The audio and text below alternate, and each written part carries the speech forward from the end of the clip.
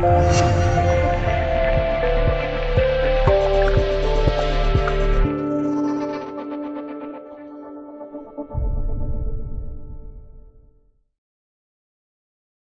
所周知，阿富汗这个国家被称作是帝国坟场。近现代国际上的两大巨头苏联和美国都曾在此折戟。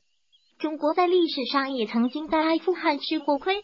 唐朝的时候，一支唐军曾经在这里全军覆没。不过那段历史太过悠久，唐军作战的对象和美苏两国所面对的阿富汗武装是不一样的，所以对于现代军队作战的参考价值不大。但是对于现代国际关系有一定的参考价值。阿富汗是一个十分重要的走廊国家，连接着东亚和西亚，南北方向也能够连接俄罗斯和南亚地区。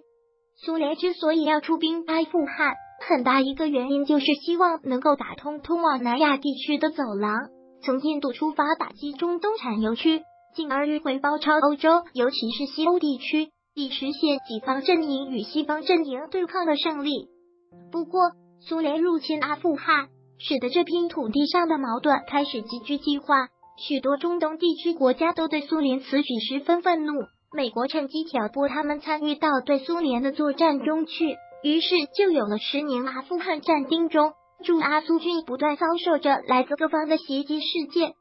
但是在苏联离开阿富汗后，塔利班掌握了阿富汗的权力，此后与美国矛盾不断，最终酿成了震惊世界的九十一事件，以及持续至今的另一场阿富汗战争。由于地形和文化的因素，阿富汗对于任何一个想要彻底掌控这个地区的国家来说，都是一块难啃的硬骨头，稍不注意就会被咬下来一大块肉。苏联甚至因此从冷战中的攻势被迫转为了守势。最终在九十年代彻底解体。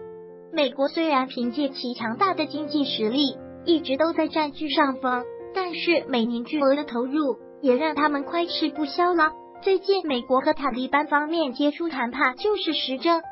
当然，对于中国来说，现在的阿富汗是一个很好的合作伙伴。所谓不破不立，在经过了多年的战乱后，如果阿富汗人想要重建家园，势必要借助外国的帮助，而作为基建大国的中国，在这方面无疑是有着丰富的经验的。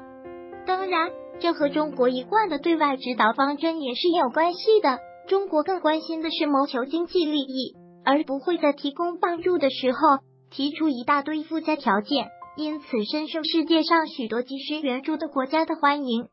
从长远来看，阿富汗问题是会得到解决的。但是短期内看不到任何的希望。由于中东局势复杂多变，许多参与进去的国家都是非死即伤。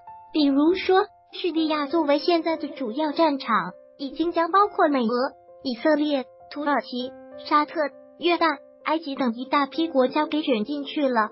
由于众所周知的原因，可以想见未来这一地区还会有更多教派与世俗派的斗争。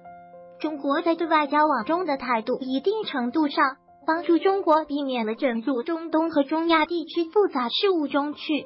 但是，随着中国不断走向世界，这些事情迟早会成为摆在中国面前的一道道难题。可以说，和中亚、中东地区的国家建立起更加良好的关系，用合作所带来的更大的利益来约束思想上的冲突。会是中国未来必须要去做的一件事。